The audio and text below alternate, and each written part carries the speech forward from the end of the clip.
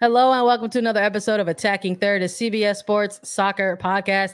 I'm Sandra Herrera, lead NWSL writer for CBS Sports. Joined today by a couple of my homies, Lisa Roman, broadcaster and analyst for CBS Sports, and Lori Lindsey, former U.S. Women's National Team midfielder. How you doing tonight, folks? Could be better sitting here with you too. So pumped to pumped to chat, see your faces um, late at night on this Tuesday. Ah, me like, too. Me too. Like, I'm happy to do? be here. Happy we're to be like, chatting. We were like, we should get a virtual hang, a late night hang, and uh, with, with all of our uh, friends out there joining us. Uh, on today's segment, we're going to be doing a United States Women's National Team versus Uzbekistan recap. We're also going to chat a little bit about CONCACAF W uh, qualifier results because that is going to be here much sooner than than we realized. But before we get into all this, a quick reminder to follow us on Twitter for all news and updates at Attacking Third. We also now have a TikTok and we're also on Instagram, so you can follow us across all three of those platforms at Attacking Third for highlights, cool graphics, and for breaking news. And you can also catch us this video on YouTube.com slash Attacking third. We've got a couple of games against Uzbekistan to go over in terms of the United States women's national team getting in, getting in their performances. We're coming, we're coming to everybody live after another lopsided win, which we'll talk about on uh, on Saturday. They defeated Uzbekistan uh, nine to one, and tonight they defeated Uzbekistan nine to zero in uh, in the great city of Philadelphia a couple locals, you know, that I'm mm-hmm. sitting here chatting with. So I think that that gives us a little bit of a next factor to talk about this match. Let's maybe talk a little bit about how it got started. We got to take a look at the lineups a little bit. We saw some rotations. We heard from Vlatko Andonovski and his media availabilities that there was likely going to be rotations for this game. And of course, I know we were all thankful for it. For the United States, uh, they lined up as follows. They had Aubrey Kingsbury, Sofia Huerta, Alana Cook, Naomi Girma, and Emily Fox, Andi Sullivan, Ashley Sanchez, Rose Lavelle, Sophia Smith, and Catarina Macario, and Mal Pugh to round out their starting 11. A couple changes right away that we noticed. Uh, Kingsbury, Girma, Huerta Sanchez into the fold for to to try to get uh, you know a full 90 or at least to start and build up through the match in this one. When we're looking at these changes right here, when you saw these four, Lori, what was maybe your reaction to, to seeing some of the rotations?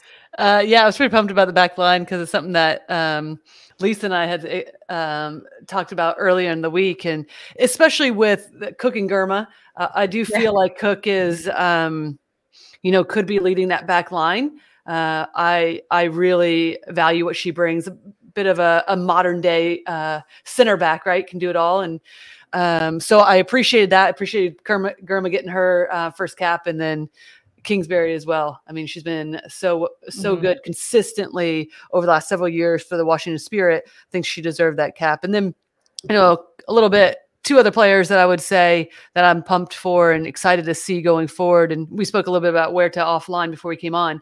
I, I like Huerta. I, I, like what she brings to this U.S. team in terms of her being able to attack or one one v one defending, and I I just really hope she continues to even in some of the the more challenging games, right? Continues to get minutes, and then um, we'll talk about the front line in a second, but Sanchez, goodness gracious. Like I listen, I, I am pumped about Ashley Sanchez as well. Like I just think there's not a player like her currently in this league in the NWSL. There's not a player, a midfielder like her um, on the US team. I don't think mm-hmm. maybe ever. Um, and I think she's just, you know, my I, I guess I'll just take a a step back for a second. My overarching opinion of all of this is that I'm thrilled for these players to be able to get this experience because you're starting to see the confidence of some of this several players and it, it's showing, right? And yeah. um, that's what you need when you're building depth and you're building out your roster to make changes coming into um, some important yeah. months coming up. So Lisa, yeah. for for you, I'm gonna go a little different. Okay. Yeah. Uh, I'm asking Lori about maybe some of the changes and, and the players who got rotated in. But in this match, when you saw the starting lineup drop, there were some familiar names on it as well. And we've heard a lot about Vlatko talking about there's a specific group of players that I want to continue mm-hmm. to see get more time together. And we're seeing these names come out time and time again, really from November to now, quite frankly, whether it's been in training camps or for rosters uh, or game day rosters. And we're seeing players like Sophia Smith, Catarina Macario, Mallory Pugh, throwing in Rose Lavelle here in this one as well. Tell me yeah. about the players that got the start again, a second consecutive start. I think you can definitely throw Rose Lavelle into that front attacking line that Vlatko Andonovski wants to see. Of course, it's it's the front three between Mallory Pugh, Catarina Macario, and Sophia Smith that he was alluding to after the last Uzbekistan match, saying that this is a trio that any chance they get to play together, he wants to put them on the pitch together. Uh, those are the three that he wants to see a lot of um, building of relationships and partnerships and having Macario be in that front line along with Pugh and Smith, how they work together, how they problem solve, how they move in and out of line. So I'm not at all surprised that we saw those front three again. Um, and Andi Sullivan and Rose Lavelle in the midfield. I liked seeing both of them as well get the start tonight. Um, I'm, I'm not that surprised with kind of how we saw this and also Alana Cook in the back line getting another start, Emily Fox as well. These are players players that haven't had that many caps. I mean, Mallory Pugh and, and Rose Lavelle, Andi Sullivan, a little bit of a different story. But between Alana Cook, Emily Fox, Sophia Smith, and Kat Macario, these are players that are still looking to get a lot of experience that Vlatko Andonovski is using uh, these April windows and and the windows to come in June for the last two matches before World Cup qualifying to evaluate these players and say, yeah. are you are you one of the players that I want to take with me to the yep. World Cup? Because that's really what he is looking at, and that's how he is evaluating these players. Yep. I do have to say the combination between Ashley Sanchez and Rose Lavelle, Laura, you and I had talked about this. These two players together in the midfield. Hoo, hoo, hoo, I want to talk about it. I want to talk yeah. about it. But um, I, I'm just so glad that we could see consistency as well from these players. And and even looking at the first match between Smith, Macario, and Pugh up top, and this one, um, there was some familiarity, and you could see that in the way that they were playing tonight, in their movements together, and, and what they were doing. Um, whereas in the first match, there was a little bit of kinks they had to work out. There was still fireworks that came, yeah. but I think tonight you saw a little bit of that familiarity and knowing that those pro- players probably knew that they were also going to get this start in over the last few days leading up to this match. Mm-hmm. You know, it's it's it's an important point that you bring up because we're talking about a two game series against Uzbekistan, right? And whether it was during the United States women's national team hour that we do an attacking third, or whether it was me and Lisa chopping it up about this team, mm-hmm. there's been a lot of discussion about the fact that it's a two game series against Uzbekistan, that it's going to, what type of challenges were there going to be within these two games? Because there's always the, the number that people fixate on, right? It's the number one ranked team going up against a uh, 48th or so ranked team. Uh, but within that, there were these layers, right? These undercutting layers where it's like, listen, it's a younger group of, uh, of players. Uh, Andonovski is interested in expanding this player pool a bit. Let's get them these games. They had a She Believes Cup together. Now they're going into this window. And you're bringing up that timeline, Lisa, and it's getting a little shorter and shorter as we're getting yeah. to the summer for yeah. this July qualifier. So the window of time for evaluations is is a little bit shorter than people probably anticipate. So when we're looking at games like these, and Lori, I'm going to go to you on this. When we have two consecutive back to back kind of lopsided blowout wins, what are these players actually learning from, from, from games like these, right? Because if we're talking, if on one hand we're talking about, hey, we got to get some uh we got to expand the pool a little bit. We got to get some of these younger uh you know players in here. Take a look at the talent that is in front of us. But you've been on the player side of things. When you go up against a, team like this, what what what does a player uh, take out of two lopsided games like yeah well you take out of the experience of playing at an international level yeah. and that, that and it means it means something different than playing at club right there is a heightened awareness around it you don't get as many games it is um you know um special an honor to be playing and representing your country and um regardless of the score line um it is it is a different challenge and these are players as lisa just alluded to are coming together they don't play every single minute together outside of a few combination of players depending on what club team you play for. So it's about coming together and figuring out how you can continue to one for the US be as dominant as possible because that's what is expected, right? Score goals, especially when you're talking about the front line that we have, mm-hmm. but then also build confidence because this is a, I mean, it's it's the same conversation that we've all been having, but it, it's a it's a pertinent one because of where we are, right? It's a shortened window with Olympics being pushed back.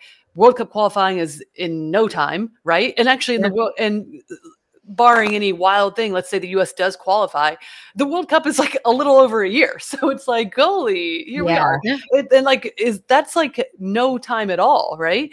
And so you've got to get these players experience and get them feeling confident. And really, that's what, because I don't think we're all under the guise of like, yeah. this was a great game right? No one was yeah. like, I yeah. mean, there was no goal in the first minute, and it was like, oh goodness gracious, here we go.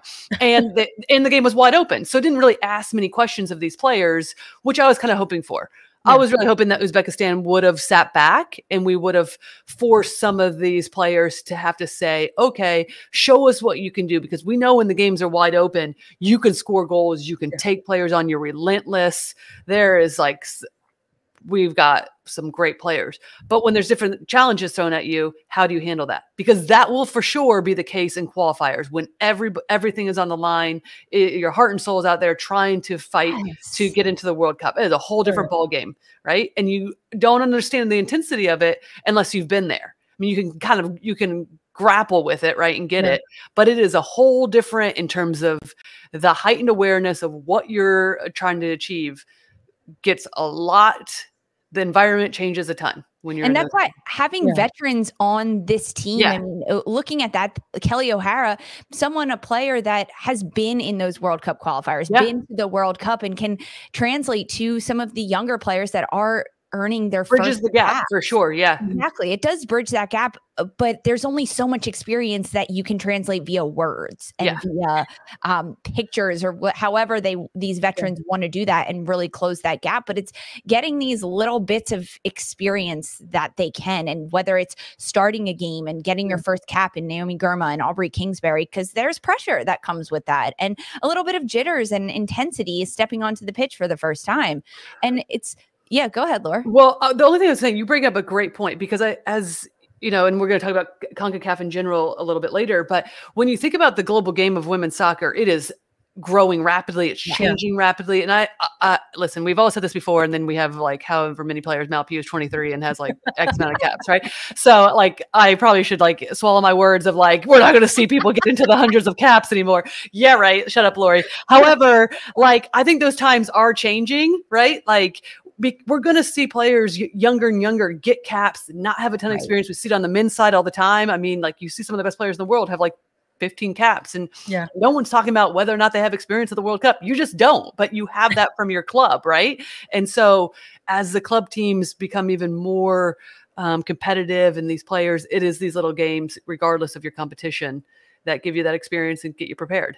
Yeah, so, absolutely. Yeah. I'm in agreement with with both those points. You're, I think we're all sort of maybe about to express the similar point, but in, in different ways. I mean, even like hearing out of these media availabilities, that was a big part of it when Andonovski was talking about rotation specifically. Mm-hmm. And he was saying that that's part of it, that it's a part of getting players into a game day scenario.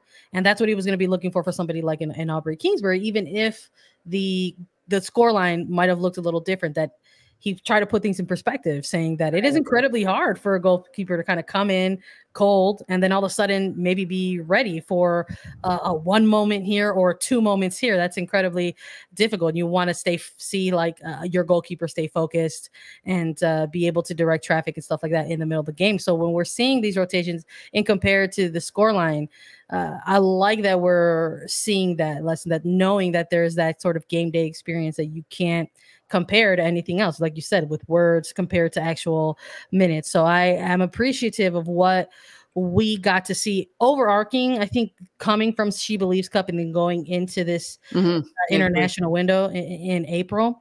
Uh, because while maybe there are going to be some folks who say some things defensively, you know, what what did the team see off- offensively during the attack? We saw two different starts a little bit to both of these games. You know, it took uh, this group, uh, the trio that we keep referring to sp- specifically, uh, nearly a half hour to kind of find the Mhm. back of the net in that first game, and then compared to this game tonight at Subaru Park, I mean, they were on the board within a minute. So we're talking about two completely different starts to two games against the the same team. So there's little things I think within it that we can kind of pull out and point out. And then obviously in the bigger picture of things, we got to talk about breakout individual performances. So I'm going to hit you both with this as well. So I want to know give me one cuz we can point out several. Just give me one. Lisa, give me one player that you think had a really good breakout series.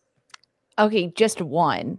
Well, uh, tricky. I'm gonna go Cat Macario. So Right. sorry if I stole that one from you, Lori. No There's worries. I appreciate it. with.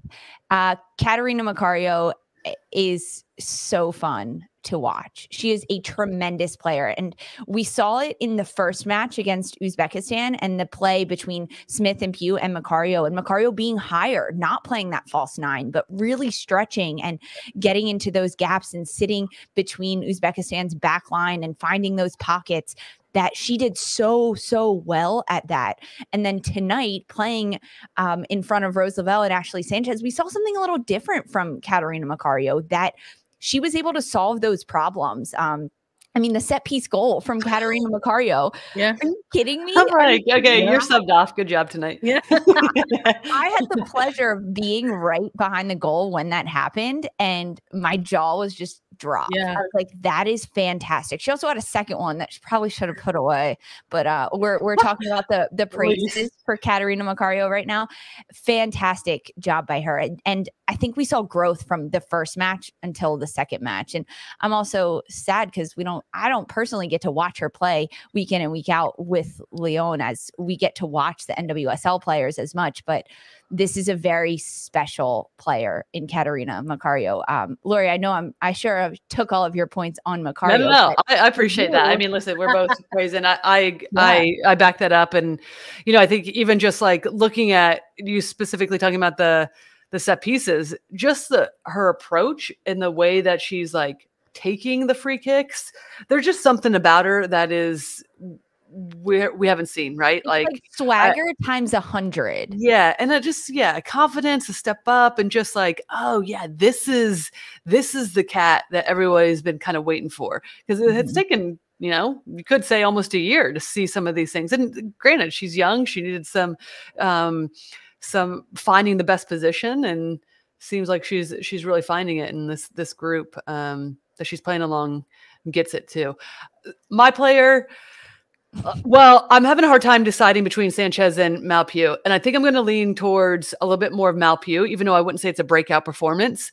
But I think this is the best soccer that we've seen Mal Pugh um, ever play.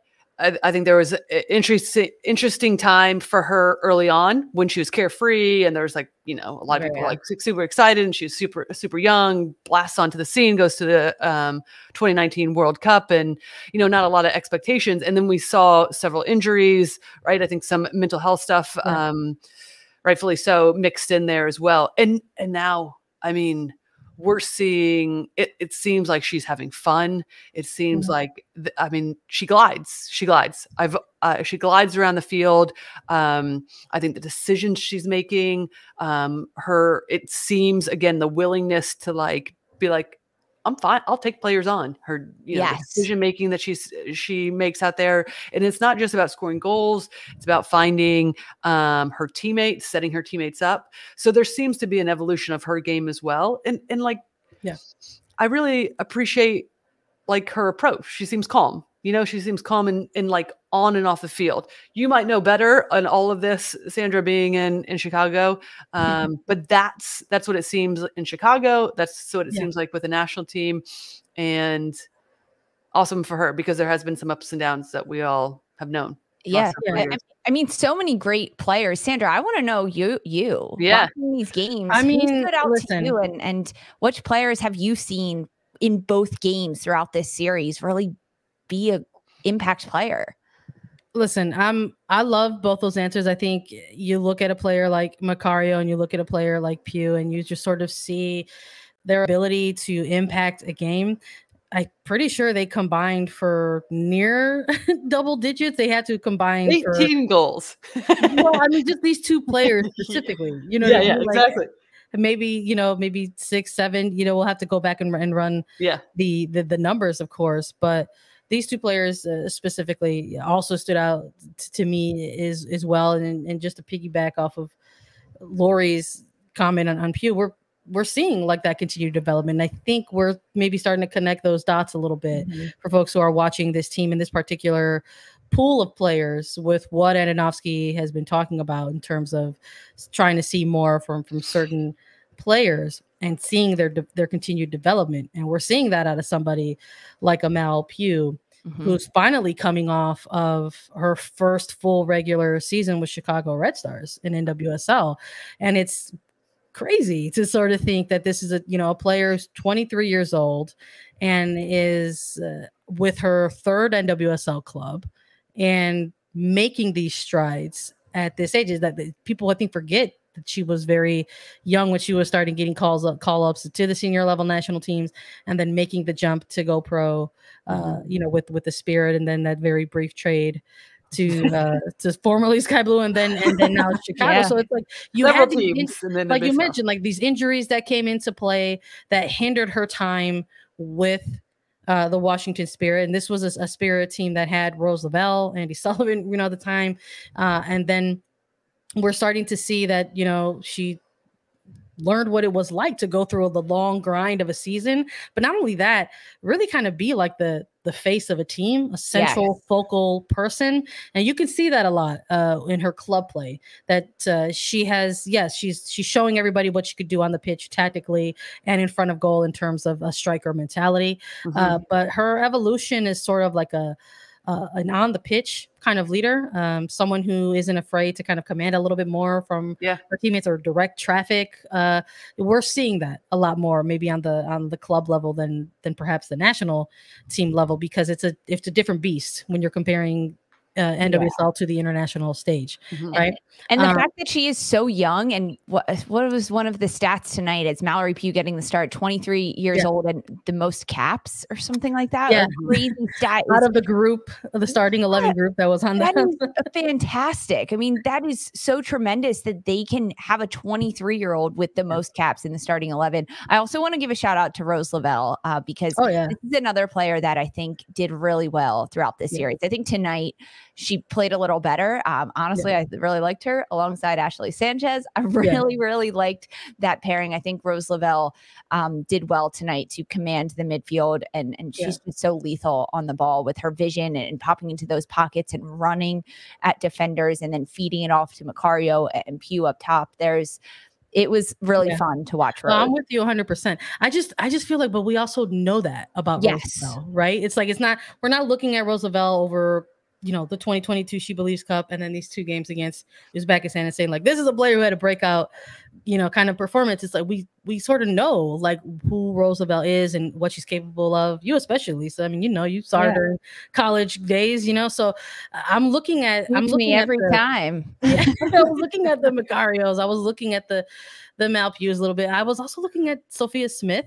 Mhm. Quite frankly, she's coming. She's walking away out of w- these two games with, with a hat trick um, against Uzbekistan. And I know there's been this conversation about this. This is the young player who has to, who's, who's very dynamic on the ball, but has to sort of maybe learn how to finish. And we're seeing that in the Challenge Cup, and now we're seeing that on the uh, national team stage. But I also love defense. I was happy to see Naomi Girma get a start Mhm. alongside Alana Cook.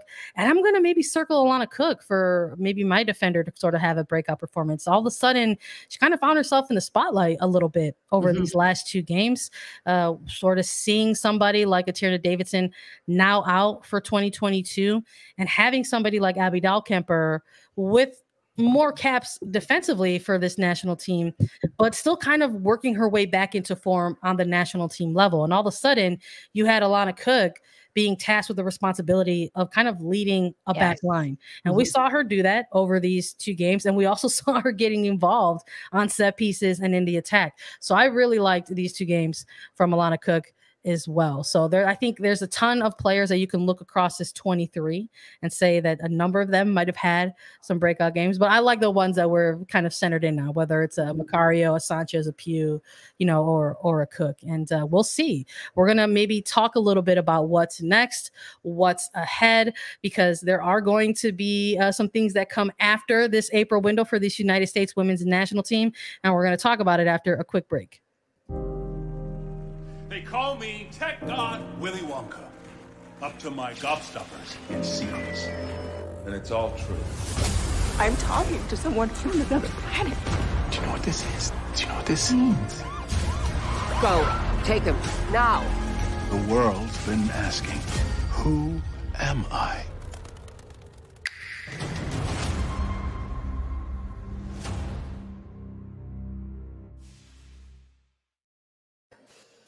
All right, let's talk about it. What is going to come next for this national team? We talked a little bit about players who we thought had breakout performances, players who we thought had really strong performances. Uh, when we talk about somebody like a Rose Lavelle, we talked about it in our previews, Lisa. We said we want to see this sort of budding chemistry with Lavelle, Macario specifically, and see more of that. And I think we've gotten to see a bit more of that over this two game series. So when we're maybe looking ahead to this June window, uh, there haven't been any games that have been announced, but it's pretty safe to say that this is likely the last round of matches that this national team will have together before they continue their preparations for CONCACAF World Cup qualifiers in July. So for each of you, I'm going to ask, what do you want to see next for this team in June? Well, first of all, I'd like to shout out um, Kirsty B with the Pugh essay. you let you read the comments? Yeah. I love the comments. I love the comments so much. And, you know, also, Gabriel, because this kind of lends to what you were just asking about. If you try to beat Spain, which is the strongest team in the world, that is up for it's subjective, right? I, am no doubt are they one of the best. Um, yeah. Um, but you need a, a score like Morgan Morgan Brian uh, Morgan Brian. Um, she's not even a person anymore. It's Morgan Straw. um, Alex Morgan. Uh, Lori is. Listen, so I think now. it's late. It's late. Everybody I should be I drinking during this. Um, I, I, want to see somebody that's going to challenge. I want to see mm-hmm. these these younger players um, have to break teams down because yeah. I think you know I, I, I think we could all sit here and say like we we love the NWSL. It's fun, it's exciting, it's transitional, but it doesn't always ask so many questions tactically of teams because yeah. it can get spread out, right? And then you can start to use more athleticism to when the game starts to um, become wide open, and it doesn't force you to always have to necessarily think the game, just break teams down in a different way. And then when we typically see that have to happen, there are some breakdowns, right? And we have seen that. And again, this is just the evolution of our women's national team. We've seen that be a struggle for the US national team as well when there's teams that sit defensively. And I'm not saying in CONCACAF come World Cup qualifying time that teams will necessarily sit back, but yeah they're going to be sophisticated in terms of the soccer and mm-hmm. and the way that they move the ball and there's going to be there's going to be challenges presented to the US team that they're going to have to get through that looked very different than these two games against Uzbekistan and even some of the games in the She Believes Cup. And that is really the questions I think we all have. What does this look like when things aren't necessarily going this team's way? When there isn't a much space for Mal Pugh to start running at this back line or Rose Lavelle? Because as high on Rose as I am, that hasn't always been the best game for her when things are really tight and there's not a lot of space for her to um, be able to run because there's misplaced um, final passes. We don't circulate the ball all the time that well. That's why there's been a talk about who's going to um, play in that six role. Mm-hmm. What does that look like? Especially when you have a, a Sam Mewis out, a Lindsey Horan that didn't dress tonight. So to me, there's still a lot of questions. Um, but I would like to see a team that's going to present um, somewhat of like what Czech Republic did, which mm-hmm. was really robust defensively yeah. and could get themselves forward. Wasn't the most lethal in terms of the attack that anybody's ever seen, but they were really well organized. They were fit and they didn't allow a lot of space. So it positional play becomes a big question. Um, how do you create space for yourself? Where do you free up players? What is the final pass? What does the li- delivery from out wide look like? Everything has to be that much sharper, right?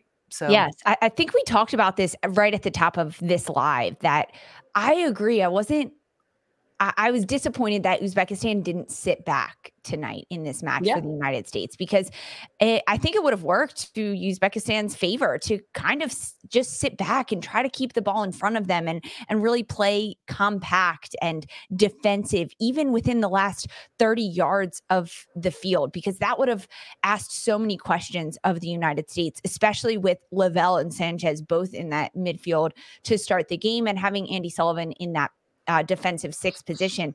And those are the questions that we need to have answered come June, come the next FIFA window, and the final, potentially final two matches uh, for the United States before the qualifiers. I mean, a question about like maybe a send off series, but I think that US soccer would try to lump it into this June window as well before the qualifiers come.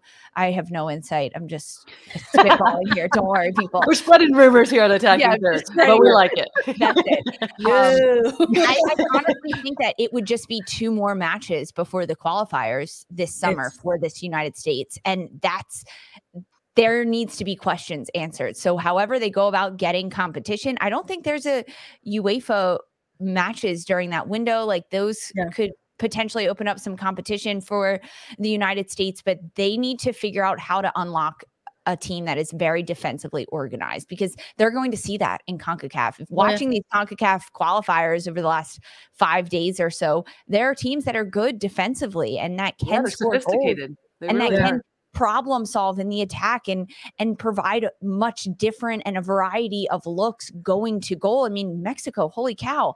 And I know we're going to touch on some of those games that happened, but those are the problems and the tests that the United States needs to be faced with, especially if he's still evaluating Pugh, Macario, and Smith yeah. up top. Mm-hmm. I hear you. I hear you both. I mean, I, I think it it goes without saying that maybe for that round of June games that are going to come up that they like to maybe we would like to maybe see a different type of opposition presented to to the roster that that he names.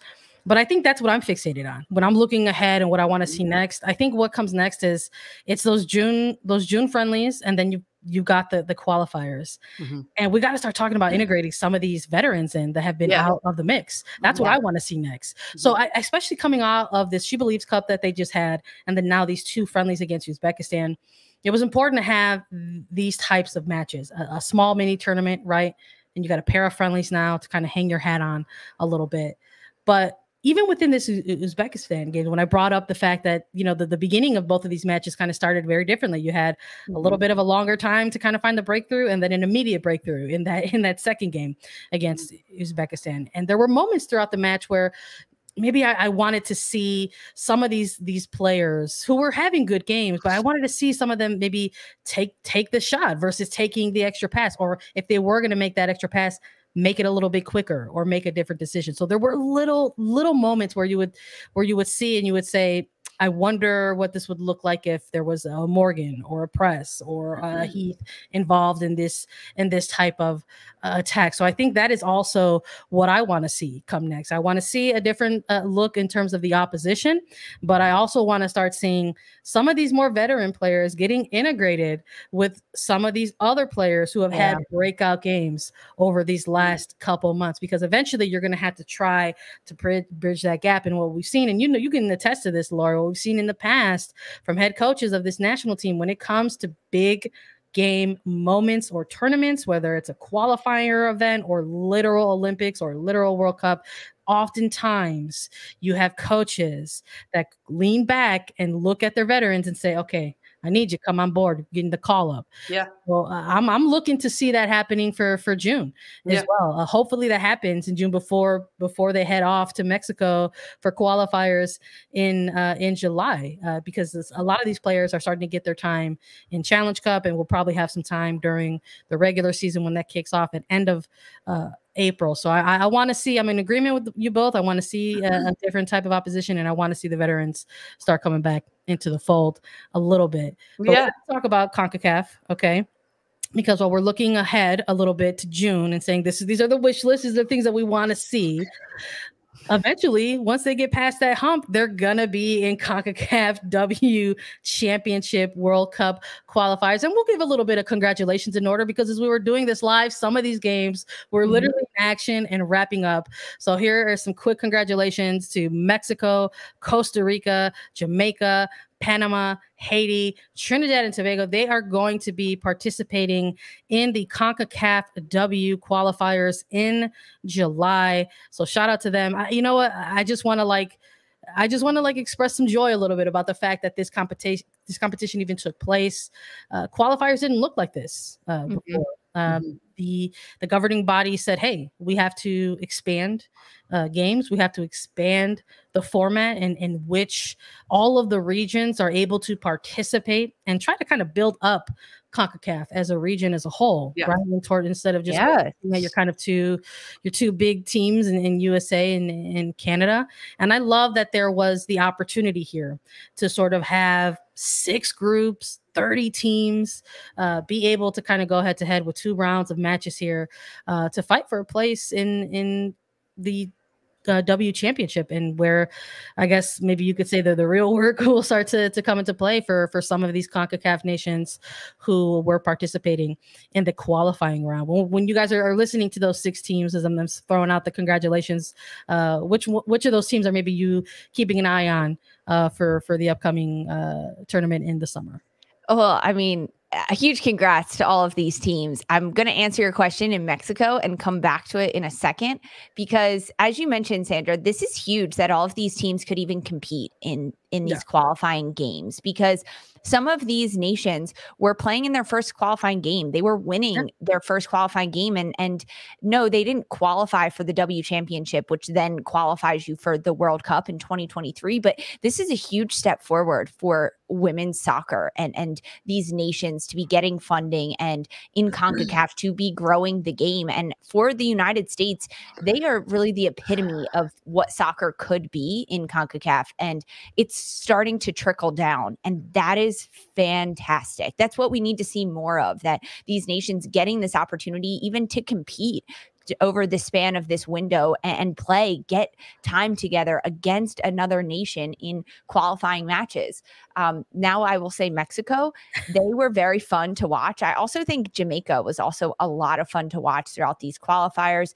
Uh, we touched on it a little bit before that these teams are are good. They can break down opponents and they can have a variety of attack in the front line and, and they can present different oppo- different opponents with different uh, decisions that they need to make defensively about how to do that. Um, uh, watching these games, especially between Mexico, I'm going to say they can score off set pieces and run of play and down the middle and sending crosses in. And that's very, very impressive to watch.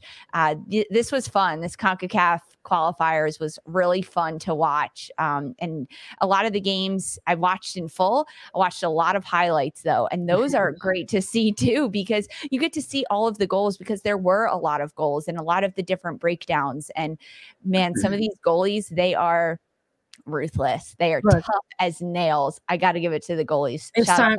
Goalies it's time for the. It's time for the plug because you mentioned it. Because if you didn't get to watch all these games, because there was a lot of them, you know where you could watch them.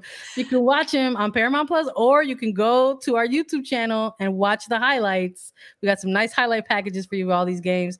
Lori, I got to ask you with with with your experience in terms of this CONCACAF championship that's going to be coming up in July and the process that has unfolded for teams to make their way there like what what does it mean to you to sort of see the the, the, the this sort of the, this format kind of expand a little bit? And uh, what are you looking forward to this summer on the USWNT side of things or for other uh, national teams? Yeah well i'm glad we're on video because people can now see my smile because what we're talking about is resources right yeah. um, mm-hmm. and that is that is so important and it has always been important and that's uh, one of the things about you know the us women's national team also is built on we leave this team and this game better than what we found it, right? And that means globally. And um and just to see, I mean, let's not forget Jamaica, the struggles that they went to when they qualified for Mhm. the 2019 World Cup just to get there, right? Yeah. And then but then you're also like talking about like the US who's flying over there being paid right? And, and no doubt no one's um, going against the resources that the us have had. I'm just saying you see the discrepancy what that looks like. And regardless i always say regardless of um, whether you like social media or not I I love it in this situation because even in like Yeah. thinking about 2015, right when Thailand first qualifies, they're wearing the hand down um, of the Yeah. men's team, Yeah. and but like that needs to be highlighted because though the discrepancy in the resources need to be highlighted because you would not see that on the men's side. And so that's what this means to me. It um, makes me a little emotional because I think it's freaking fabulous. And Yeah. the to see a lot of these players, not everyone in these, but like, you know, we talked to off air about Bunny Shaw, her Yeah. playing over in Europe. Um, um, Liga MX Femenil, right? Yeah. Like you're seeing these players um, play at a professional level each week, and that means elevation of the game, which is amazing. And quite honestly, Concacaf's about to blow up, in my opinion. It is going to be Oh, yeah. difficult. It's going to be awesome. And I'll tell you this, and um, Lisa, we talked about this with when Jill Loyden was on um, U.S. Women's National Team Hour a couple weeks ago, or Mhm. whatever. I lost track of time. Um, but like, like Jill and I were part of the team. Like, this is going to be awesome. And I'm like putting, I put Mexico up there because we lost to Mexico um, down in Mexico Yeah, you World Cup qualifiers in 2010, and Yeah. it was a packed house, right? And it was like the 12th person, the 12th player, because that stadium was a rock, and Abby's getting st- like staples in her head in the middle of the game. Yes. It was wild. They were played their hearts out. They were Yeah. awesome that game. We weren't, but we were also shell shocked, right? Yeah. And there's that- so many things we didn't visit this. about of the experience of these younger players and being Yep. in that type of environment and that type Mhm. of game that is just cutthroat and And I'll tell you, everything's on the one thing that we haven't talked a lot about is gamesmanship, and that will no about no doubt when I talk about sophistication, that will play a huge part.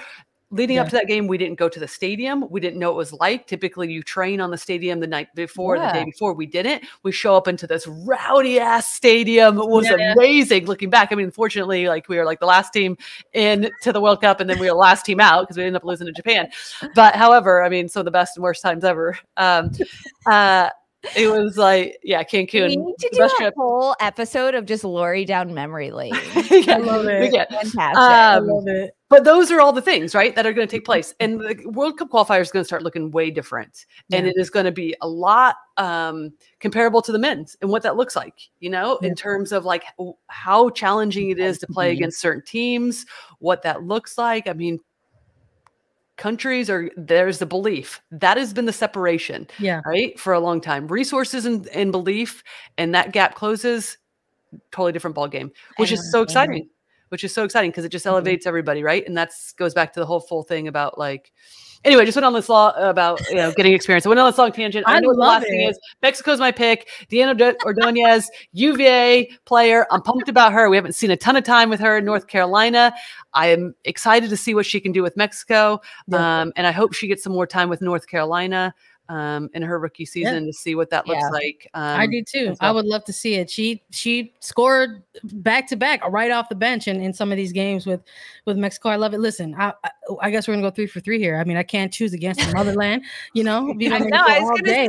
say, Sandra, give us I'm the Mexico plug. I'm gonna go with with Mexico. Of course, I'm excited to see them. Uh, you know, and, and we're talking about the story arc of, of some and their teams here. uniforms are great the uniforms are great. Yeah. We're talking about the, the story arc of some of these teams here, whether it's like the Reggae Girlz in Jamaica and what they did in, in 2019, and, and now they're going to get another shot to, to qualify once more in in the summer. And we have a Mexico side that kind of still has been carrying the agony of that failure to qualify in, in 2019. So this is going to be uh, it's going to be thrilling uh, to watch. I'm very very excited. It's a it's a very it's a very important time in in CONCACAF on the on the uh, Mhm. non-men's side of the game, and uh, I am looking forward uh, to continuing watching its its involvement and its development. And uh, I'm sure we're going to be talking about it more in the near future. So I can't wait for us to get together and talk about it again once more. And hopefully, maybe we'll do it in a live, and all of our friends can come and join us again. Yes, We I love the chat. Everyone we- joining us in the chat, great conversation. You, appreciate everyone. y'all. Y'all I, I love it. Uh, thank you all for for hanging out with us. We appreciate you all so so much. Thank you for for listening to us and in our in our ramblings or agreeing with us or disagreeing with us or whichever but thank you for being here. Please follow us on twitter and now on tiktok and instagram at attacking third for more. We're on apple podcast spotify stitcher and anywhere you listen to your podcast shows we're also available as video subscribe to us. Visit youtube.com slash attacking third. And we'll be back because challenge cup is back. So lisa and i are going to be back with you with some more challenge cup and nwsl previews and recaps. So for tonight for sandra herrera lisa roman and Lori Lindsey this was attacking third